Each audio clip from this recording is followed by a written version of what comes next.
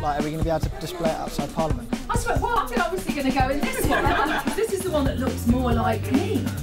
I think I probably always wanted to work in the voluntary sector and then actually at Goldsmiths in one of my modules I got to work with an older people's befriending advocacy service and that sort of made me realise that there was a lot going on in London that I could work on and change and support a particular generation of people. There are older people in and out of the office which is lovely. I get to talk to them, learn about their lives, learn about what's going on in their local community and get to support them with things that they want to change.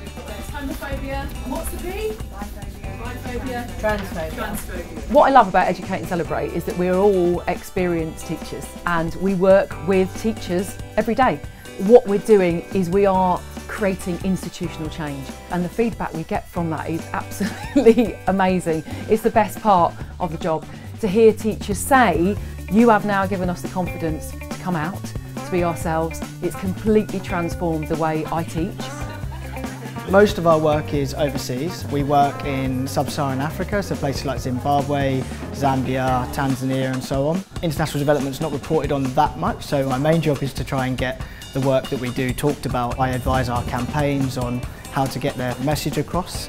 We run a big global campaign around HIV and AIDS called Youth Stop AIDS. Our target is lofty, we want to end AIDS by 2030. I'm quite excited by us being a generation that gets to address that and not be the one that sort of just gives up, but be the ones that kind of really push forward. Now you are never too old for a sticker, are you? Part of my reasons for going to Goldsmiths is that it has a fantastic reputation not only for education but also for activism in general. It gave me the skills to write in an academic way and it also gave me the research skills that I so desperately needed to support the charity.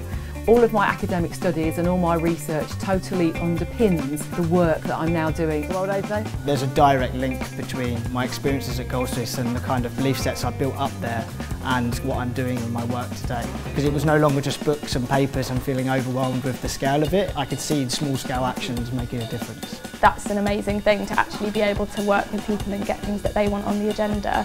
It's just really important to me that I'm doing something worthwhile, that I think is worthwhile, and that I feel like I have a chance to make a difference. If you want to make a positive change, then go out there and do it. There is absolutely nothing stopping you whatsoever. I'd be lying if I say it was a completely smooth path into this role. So what I'd say to people is that when you leave, you don't have to have it all mapped out, but keep pursuing the things that you're interested in, keep pursuing the things that you're good at, and you'll find your way to the job that's right for you.